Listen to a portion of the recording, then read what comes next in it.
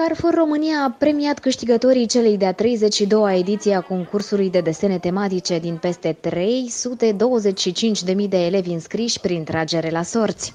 Desenele celor mici, inspirate din lumea Rubies, tematica ediției de Crăciun, au fost răsplătite cu premii și surprize inedite oferite de Carrefour alături de partenerii proiectului. Marele premiu, o excursie în parcul de distracții Shrek's Adventure din Londra, a fost câștigat de Mădălin Tudorache, elev în clasa a treia. Sunt mai bucuros ca orice copil. Povestește-ne un pic despre desen.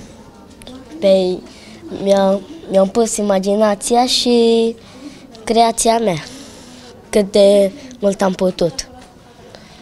Și a ieșit ceva? Și a ieșit ceva foarte frumos. A ieșit desenul câștigător. Da, Și cum se numește personajul pe care l-ai desenat? Julian 3. Julian, regele Julian. Premiul 3, o bicicletă, a fost câștigat de Teodora Moldoveanu, elevă în clasa a doua. Cât de bucurat, bucuroasă ești tu de premiul pe care l-ai obținut? Foarte bucuroasă pentru că nu mi-am câștigat aproape niciodată. Și ce ai câștigat azi? Am câștigat o bicicletă. Ajuns la cea de-a 32-a ediție de desfășurare, concursul a înregistrat peste 325.000 de înscrieri la nivel național, de la peste 700 de școli din cele 20 de orașe în care Carrefour își desfășoară activitatea.